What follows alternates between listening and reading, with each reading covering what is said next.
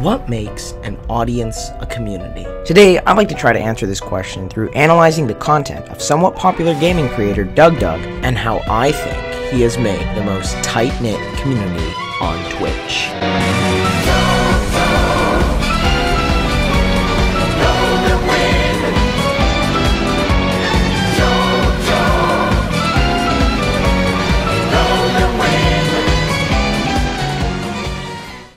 Let's break this down. First, member engagement. Think about the last awesome teacher you had in school. Chances are that the energy of the teacher, coupled with their teaching style, made you feel more inclined to participate. It's the same idea here. Elements of the creator's content, whether it be their personality, humor, or skill, are what drive audience engagement and cause viewers to engage through the chat. These messages are an effort to interact with the creator in real time and can range from really wholesome to really toxic. Now, this isn't anything revolutionary, but the dynamic becomes really interesting when the number of viewers increases into the thousands. For smaller streams, there is more of a direct connection between you and the creator, so you're more engaged because what you type has a higher likelihood of having a genuine impact on the stream. But when viewership surges and there are dozens of chat messages flooding in, it feels like you've almost lost that connection with the creator.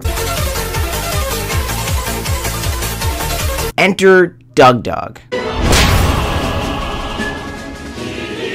DougDoug. Doug regularly gets more than 2,000 viewers per stream. He, by all means, is not a small streamer, but still manages to have a strong level of connection with his viewers. This is for a few reasons. Number one, his content is inherently interactive. This is somewhat unique, but much of his content revolves around his audience having a direct impact on the outcome of the gaming challenge he's trying to achieve. Having a direct impact on something you're invested in makes you more likely to engage with it, which is why you'll see hundreds of people spamming the same four commands in a chat box in hopes that they contributed to something greater. Second, making trivial things interactive is a great way to build community. Sometimes DougDoug releases videos where the challenge is hard enough as it is, so having Twitch chat control core game mechanics would end in catastrophic failure. In these events, Doug plays the game himself, but he creates an opportunity for active interaction. To show you what I mean, look at this video on DougDoug's channel titled Can You Bike to the Top of GTA with Only Your Voice?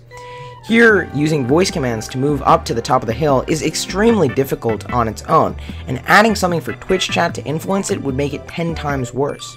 So what he does instead is he uses Twitch chat to brainstorm what he should call the commands and votes on the best ones. So though the chat didn't change the core mechanics, instead of saying right or left for a challenge, commands are now labeled door rightos or door leftos because that's what his chat proposed and voted on. Third, running jokes are key. Often, DougDoug's challenges start with a goal and someone sends a message that derails the entire focus of the challenge, but makes it really funny. This initial joke gets called back to many times and becomes the new focus of the stream. This creates a culture and eventually it becomes a staple of his community. Now, this all sounds well and good, but how do you get to a stage where you can get the audience invested enough to actually participate? Storytelling. To sell the idea to your viewers, you can use stories. This is because stories with a well-defined beginning, middle, and a satisfying end get people really hooked. To make these stories more compelling, he adds a lot of weight to the challenges and increases stakes, whether that means spinning a punishment wheel or adding a million aeroplanes crashing into the side of a mountain.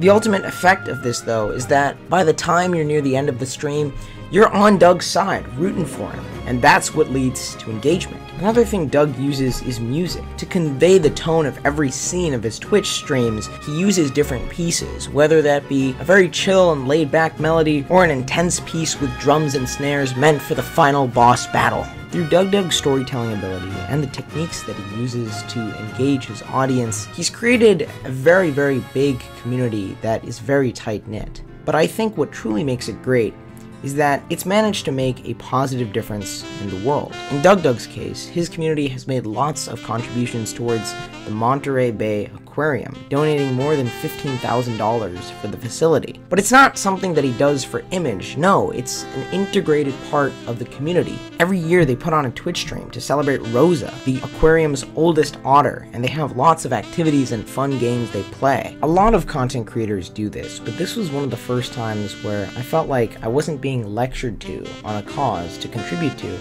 and instead could be actively engaged with it. It's a tradition that's been going strong for two years now, and I can't wait to see where it'll end up. Thank you for watching this video. If you want to see more content like this in the future, please consider subscribing. And I'm really glad you decided to spend some time with me learning about how DougDoug created the greatest community on Twitch. Thanks.